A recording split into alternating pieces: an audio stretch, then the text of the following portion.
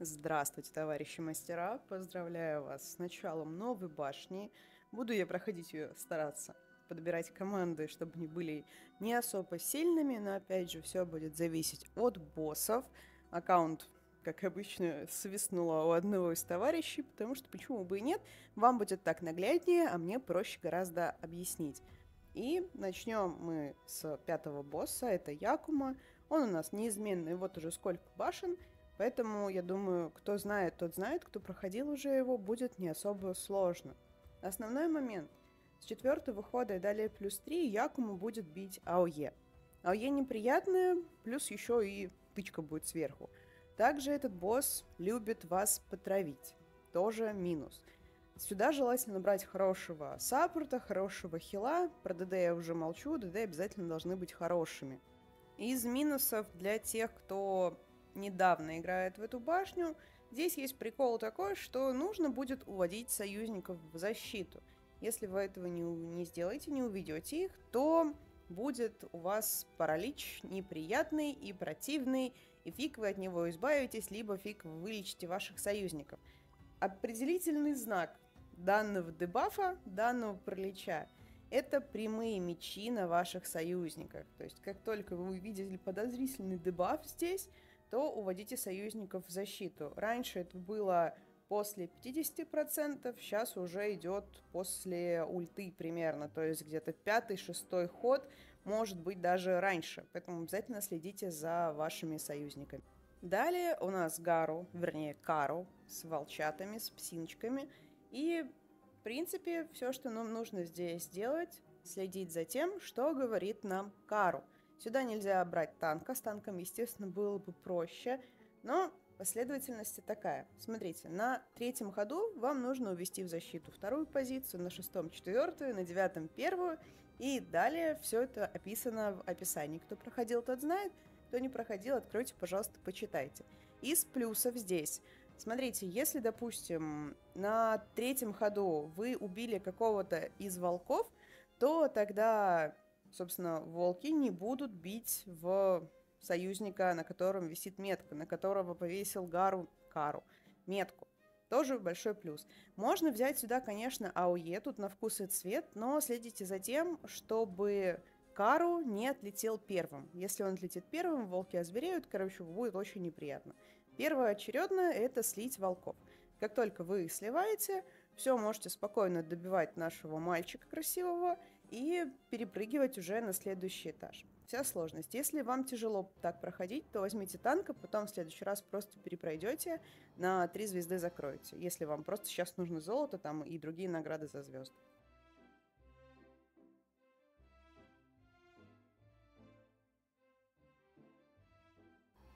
И наш священник Оливин, прекраснейший мужчина.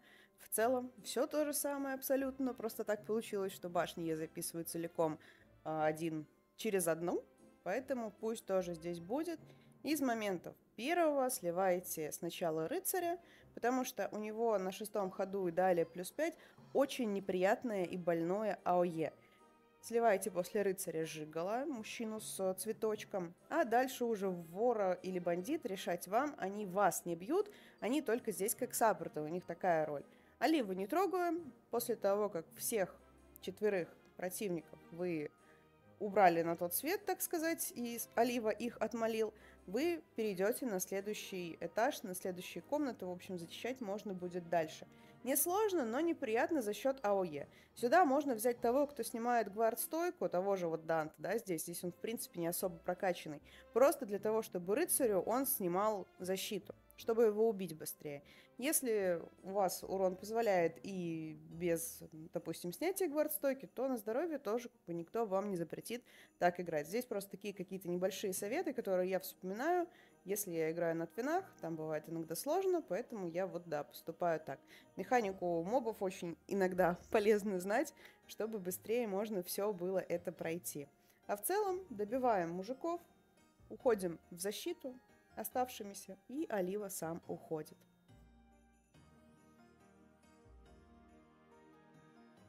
И несменные наши два деда, Куя и Квинси. Сюда очень сильно рекомендую танка, если команда у вас не раскачанная. Если там у вас 3-5 звезд и максимальный потенциал и интимы, можно не брать танка. Здесь нет условий таких, чтобы брать или не брать. Но при желании, вернее, если у вас нет возможности, то возьмите танка обязательно. Но первым делом первые два хода в защиту, дальше с пятого хода и далее плюс 5 нам нужно будет использовать танка с провокацией с таунтом, то, что делает Марвей на своей ульте. Он агрит на себя. Для того, чтобы Куя нам не застанил вторую и четвертую позицию. Танк на себя все заберет, и мы будем проходить дальше. После этого на шестом ходу также плюс 5 будет, то есть они друг за другом. Вам нужно будет два раза, три в идеале, конечно же, ударить Квинси. Если вы этого не сделаете, то он может ваншотнуть вас. Если вы его ударите, то ваншота как такового не будет. Будет не особо такая приятная, конечно, тычка, но не сильная, потому что за счет того, что вы его ударили, у него резалась атака. Поэтому вам будет не так больно. Сливать их одновременно не особо нужно, но я бы порекомендовала, потому что если вы, допустим, сливаете первым Квинси, то у Куи просто огромный урон становится. С Квинси, в принципе, то же самое. Они очень больно начинают ваншотать. Здесь, конечно, есть, если не ошибаюсь, условия, что там кто-то может погибнуть, но зачем, если можно выиграть в чистую здесь пройти. Главное, не полениться, потихонечку по очереди этих двоих долбить, и все у вас будет замечательно. Я старалась подбирать такие команды, которые, ну, плюс-минус более-менее из того, что можно было собрать послабее на этом аккаунте, Поэтому вся информация у вас перед глазами. Мне, кстати, очень понравилось сделать вот такой вариант подачи. Наглядно, сразу видно, можно на себе сориентироваться и понять, пройдете вы или нет. Дальше у нас идет наш прекрасный Эдмонд. Такой же, в принципе, как и персонаж, такой же и босс, и бьет неприятно, еще и контратаку по типу своей атаки накидывает, да, то есть у нас вот это вот x2 там, по жопам АОЕ, такое себе удовольствие. Но пройти можно, главное следить именно за его дебафами. И следить желательно за всем этим делом, когда здоровье его становится ниже 50%, потому что он через ход, вернее, через два хода, на два хода, накидывает на себя контр-атаку. Сначала он будет накидывать это, то есть вы бьете и в того, кто ударил, прилетает. Когда здоровье будет ниже 25%, то тогда будет уже АОЕ контратака, и поверьте, вам это может не понравиться, потому что страдают все союзники, особенно если они не раскачанные, и это будет не очень замечательно. Если, опять же, мы судим по силе команды, да, если команда сильная, то, пожалуйста, в добрый путь можете бить как хотите, можете в целом там за 3-4 хода с этим боссом разобраться, такое тоже можно, если, опять же, жир позволяет, сила позволяет. Если нет, тогда потихонечку его колупаем, смотрим на его здоровье, на его бафы обязательно смотрим вверху. Не ленимся открывать контекстное меню, потому что даже я его открываю, это очень удобно. Можно сразу наперед посмотреть, что делать в той или иной ситуации. А так за счет, только за счет того, что нужно будет уводить в защиту на там, ходах при контратаке, только это замедляет процесс победы над этим боссом, потому что по здоровью он не сильный. Также, если у вас, например, какая-нибудь лесная стихия, да, есть с собой, то можно спокойно завалить. Или там нюковские моменты, типа Квинси, которые там к седьмому ходу откатывают свою ульту и до свидания, потому что, опять же, Квинси это зелень, лес и резонанс решающий, будет еще больнее получать босс, чем он получает от других союзников. Ну, типа такой микро-лайфхак. В целом, на старте где-то за, так сказать, 2-3 недели игры э, до 30-35 этажа можно спокойно дойти, потихонечку и не торопясь. В этом деле обязательно нужно не торопиться, а все проходить и прокачивать с чувством, с тактом и с расстановкой, а не бежать просто сломя голову, увидев награды. Ну и, конечно же, конечно же, замечательный мужчина – наш Рин. Он все еще здесь, он все еще с нами на этом этаже. Сюда обязательно нужно взять танка. И в целом по требованиям все. Смотрите, прикол. Здесь вот эти звери, у них ну, им надо здоровье слить два раза, да, по классике. То есть вы сначала сливаете до 1%, они отжираются, и снова сливаете уже по второму кругу окончательно. Но если вам позволяет ваша сила слить какому-нибудь из зверей сразу за первый ход здоровье в ноль, оно сольется в ноль.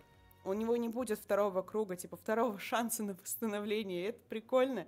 Я заметила это еще в прошлой башне, но мне показалось, это какой-то баг.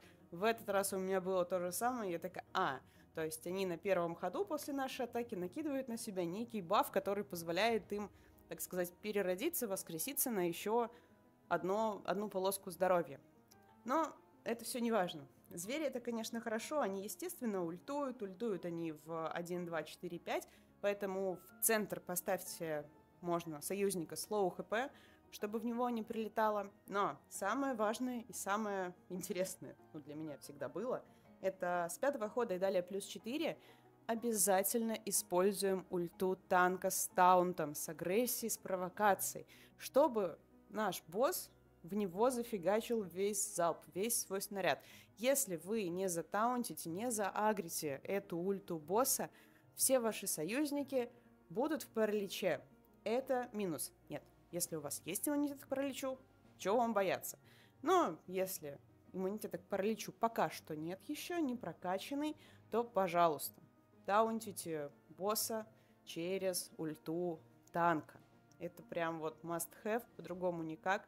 Если же, допустим, на моменте второй ульты босса танк ваш отлетает, то прокачайте танка. В целом, именно, так сказать, классу танка, много прокачки можно не надо. То есть четвертая комната замечательно. Примерно девятый потенциал, все, выше крыши хватит. Ну и звезд, естественно, если это СССР, то хотя бы две, три. Если это СР, 4-5 звезд, да, чтобы хорошо держался, но ресурсы можно уже не вкладывать в танка, потому что и так все хорошо. Вытягивают башню, руины, СП не беру в расчет. Но вот эти все моменты, которые для простых пользователей, да, кто не лезет никуда выше головы и прочее, прекрасно подойдет такой тип прокачки у данного класса союзников. А тем временем мы с вами добили уже этого босса и будем переходить к следующим, которые были на высотах в прошлой башне. И здесь у нас мокрый Квинси, конечно же, замечательный красавчик-мальчик. И тут, знаете, главное дожить и пережить седьмой ход. Там уже можно более-менее будет разгуляться. Но обо всем по порядку. С первого хода, на первом ходу мы наносим ему урон, на втором ходу и далее внимательно плюс 8, то есть второй, десятый, восемнадцатый и так далее, нам нужно увести всех союзников будет в защиту. И на третий ход, опять же, плюс 8 нам нужно будет ударить его с руки, дабы на нас был щит, чтобы спастись от, от вот этого пулеметного АОЕ. Дальше, до седьмого хода, мы уводим всех союзников в защиту, если КД особенно плюс 4. И можно использовать хила, ну так, по мере подхиливаться. Смотрите по вашему состоянию, как бы, да, по персонажам. Если позволяет здоровье, тогда уж и хила в защиту уводите. Если все-таки здоровье ну, не позволяет, хильте. Теперь, на седьмом ходу мы должны нанести три ульты, три атакующие ульты в босса, чтобы уменьшить его урон. И дальше два хода можно будет ударить. То есть до десятого хода спокойненько бьем, потому что на десятом, опять же, нужно будет увести в защиту.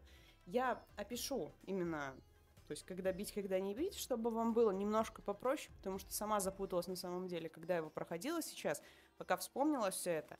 Ну, такой, он надоедливый, противный, но можно взять, опять же, Квинси каких-нибудь, либо тех, кто травит, чтобы это быстрее прошлось.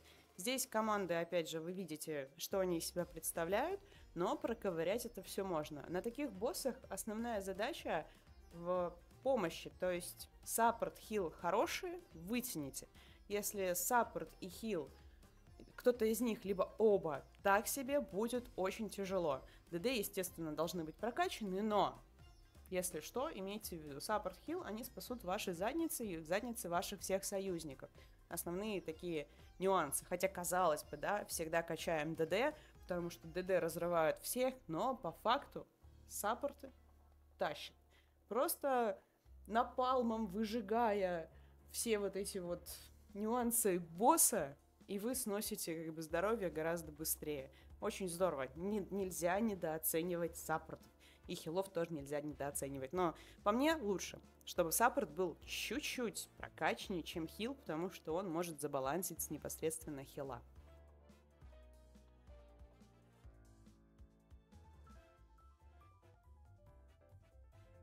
А на сороковом этаже нас, как обычно, ждет Карус псинами. Они были внизу, они наверху, они везде нас достанут. Тактика абсолютно такая же, как и в прошлой башне, да, когда они были чуть повыше. Также бьем обязательно танк. Ульта, если у вас Марвей, ульта танка по КД вообще нормально, поэтому потихонечку двигаемся. Из моментов. Золотой волк бьет в первую и вторую позицию. Зеленый волк в третью и четвертую, а пятый а пятый, а в пятую позицию бьет у нас фиолетовый волк. И в прошлой башне, то есть что, что в этой, в принципе, также, когда Гару накидывает на себя вуаль, вот этот щит, мы бьем волчат, чтобы вот этот щит убрать, да, не обязательно ваншотить именно в Гару. Но я заметила интересный момент. Не каждый волк может при ударе снять вот эту вот часть щита. Потому что, например, э, если я била, допустим, не как-то рандомно, как мне хотелось, не срабатывало. Но если, допустим, я ультовала танком в... Что это, центральный волк у нас какой? В зеленого волка, то тогда часть щита уходила. В золотого волка я же ультовала... Ультовала. Я била его ультой.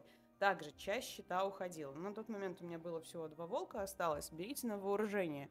Возможно, здесь добавился нюанс, возможно, он был, я не буду вас обманывать, но каждому волку, видимо, свое что-то. Они как бы что-то там на заморском своем говорят. Но что они говорят, я не понимаю и даже не особо переводила. Потому что можно из мора взять все, что угодно. При желании также можно взять какого-то АОЕ союзника. Можно двух АОЕ союзников и танка, естественно, да. И играть, проходить спокойно через АОЕ. Сливать танков одновременно. Из минусов, которые действительно могут быть неприятные, это если у Гару останется вуаль, то он просто отличненько так выхилит волков, что замедлит вам прохождение. Если вы на это особо внимания не обращаете, у вас какие-то жирно супер ульты, тогда можете и не обращать на это внимания. Вас никто не заставляет, никто к этому не принуждает. Почему бы и не попробовать таким образом пройти?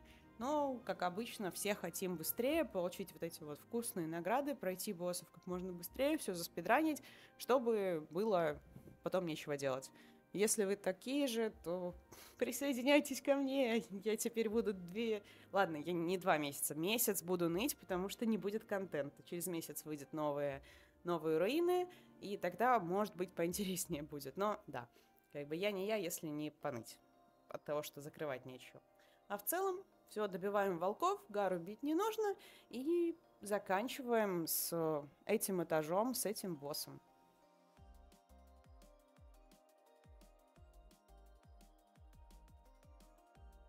А теперь фамильяры.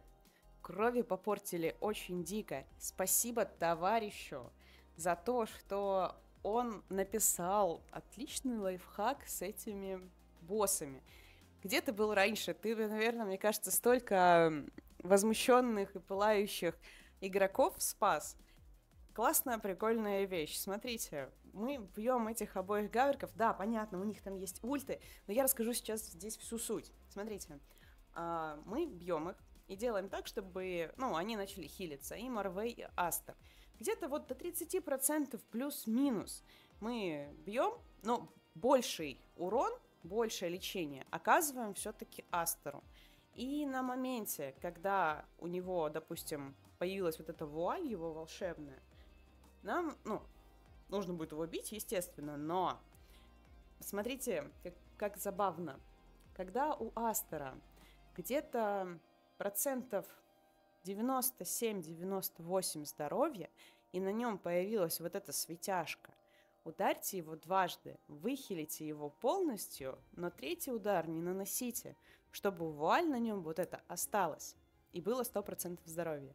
После этого он выхиливает Марвея, Марвей уходит, неважно, сколько здоровья было у Марвея, Марвей уходит, мы сидим ход в защите, и на следующий ход уходит Астер. Я вчера проверила, пока еще это был 60 этаж, и это сработало.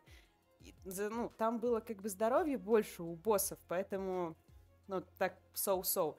Здесь же это очень прикольно, очень удобно прокатывает. Я прям похихикала, когда поняла эту фишку. Но почему-то у меня это только на десятом ходу примерно начало происходить.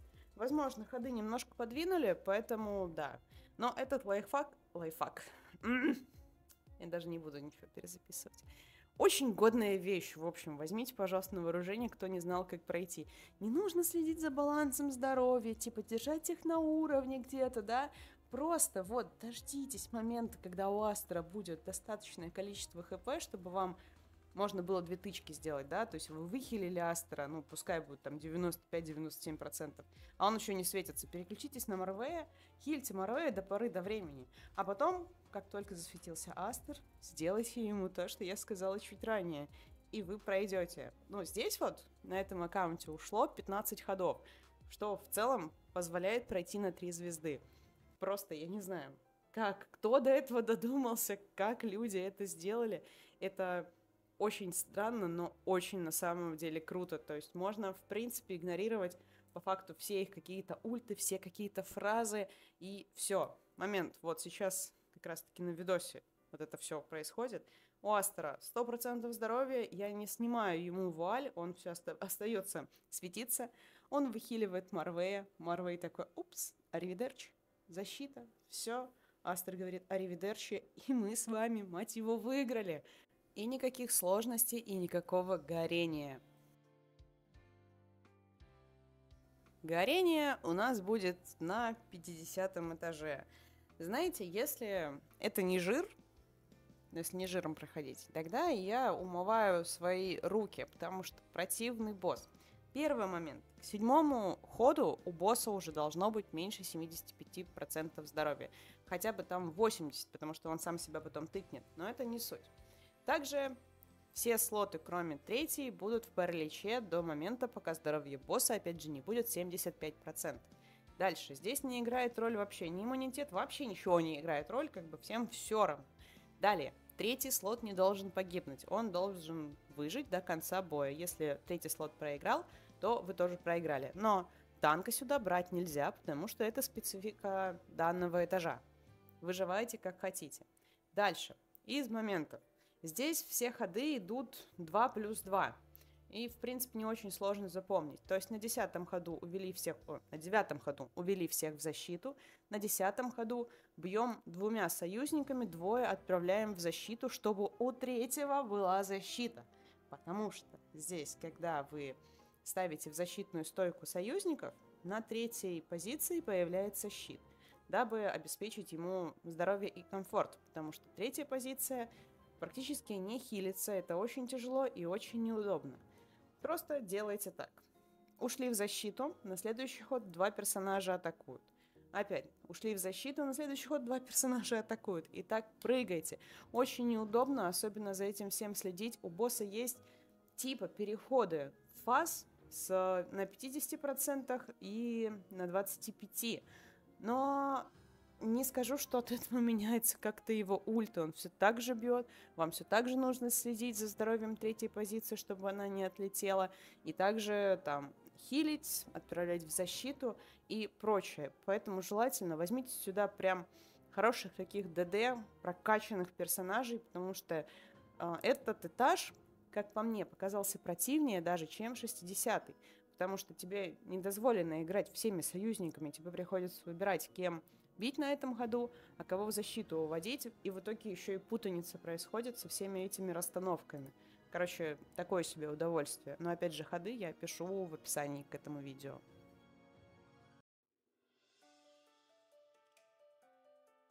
И после 50 этажа на 55 мы можем немножко расслабить свои булки на огненном песке вместе с Куей и Данте. Из моментов, которые могут быть не очень приятными, но в целом все хорошо. Смотрите, у Данте есть специальная метка. стак такого, я не знаю, называйте как хотите. Суть в том, что ему нельзя позволить накопить этот стак до 8. 8 это максимум. Стаки сбиваются ультой ваших союзников, но, момент, один стак, одна ульта, один ход. Все по одному. Вы не можете 4 раза ультануть, 4 стака забрать. Нет, так не получится. Поэтому можем потихонечку бить мобов э, до пятого хода.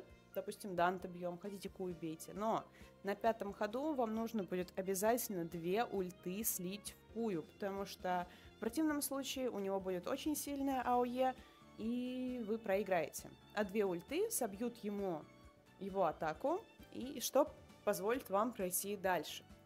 Потом будет еще момент, что на девятом ходу нужно будет увести всех союзников в защиту, потому что жирная и противная АОЕ будет у Данте. И все. Из нюансов. Нет. Данте, конечно, ультует в 1-3-5, но на это можно закрыть глаза. Это не так противно. Просто после всех вот этих манипуляций, особенно после пятого хода, вам нужно будет очень желательно каждый ход бить ультой в Данте, чтобы его стаки сбить. Если вы, вот эти 8 стаков, они накопятся, вас ваншотнет Куя. Но если стаки сбиваются, можно взять, например, каких-нибудь эдов, каких-нибудь тех же Данте, у которых ульта 3, чтобы быстрее откатывалось. Но, в принципе, и если все союзники у вас с ультой в откат 4 хода, все получается, все проходится, потихоньку снимается, стаки забираются, боссы не агрятся, боссы проходятся, боссы побеждаются. Вот и все дела. Просто это может затянуться. Кстати, вот если на пятом ходу нужно ударить кую АОЕ, и чтобы снять стак, например, возьмите также АОЕ товарища одного.